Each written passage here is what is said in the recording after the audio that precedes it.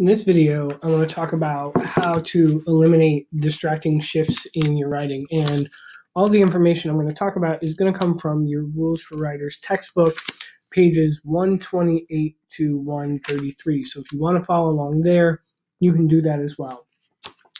Um, so when we talk about eliminating uh, shifts in writing, what we mean is that we want to be as consistent as possible throughout our writing, and we want to maintain consistency in three different areas.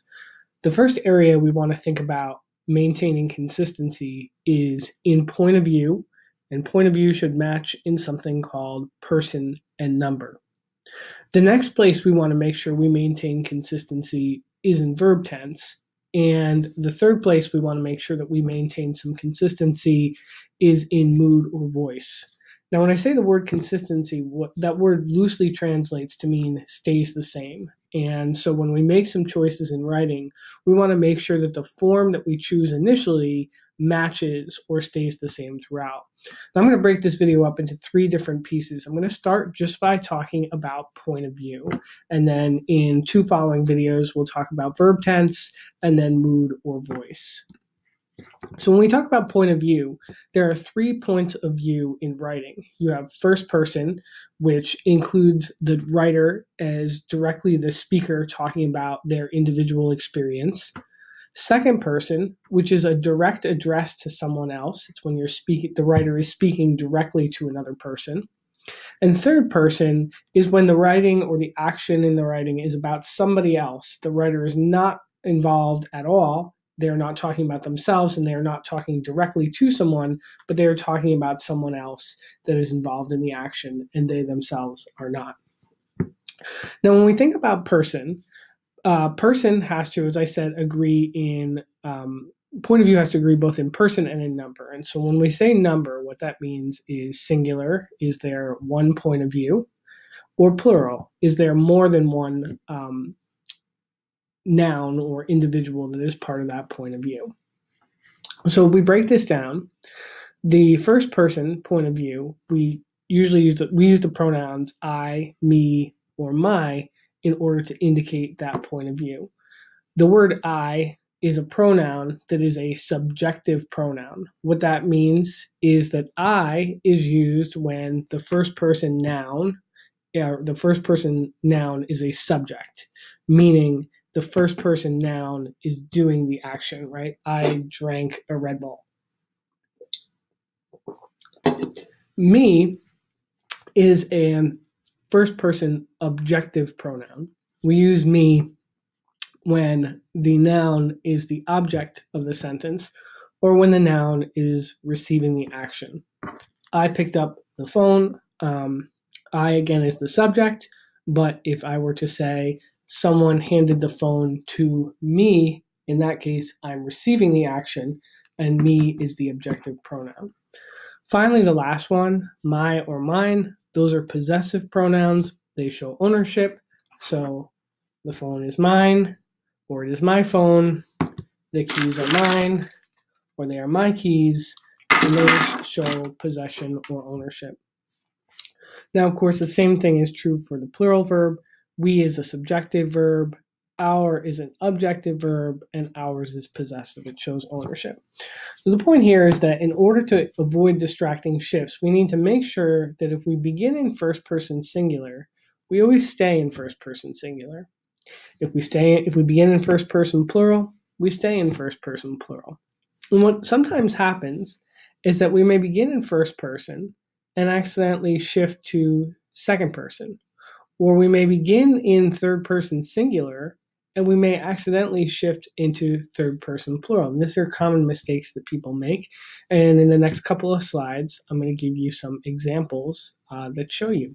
The last thing I want to say about pronouns in general before we move on to look at some examples is that different points of view are used in different kinds of writing. So, for instance, your first piece of writing for this class and for English 101 is a narrative essay. Narrative essays are most often written in first person because you are reporting back your own experience. Second person is oftentimes used for directions if you are trying to explain to someone directly how to do something. you're going to use second person. And third person is most often used for academic writing. So when we get into our argumentative writing and we get into some of our expository writing, we're going to move away from first person. We're going to stick to third person. That's that more academic voice. All right, so let's get into some examples. If you take a look at the example on the top of the screen, our class practiced rescuing a victim trapped in a wrecked car. We learned to dismantle the car with the essential tools. You were graded on your speed and your skill in freeing the victim. Now, this is a mistake that students make all the time. What we've done is we began in first person plural, our class. That's a first person plural possessive pronoun. And then again, we, a plural first person pronoun. And then accidentally, the writer shifts into second person by using you, your, and your.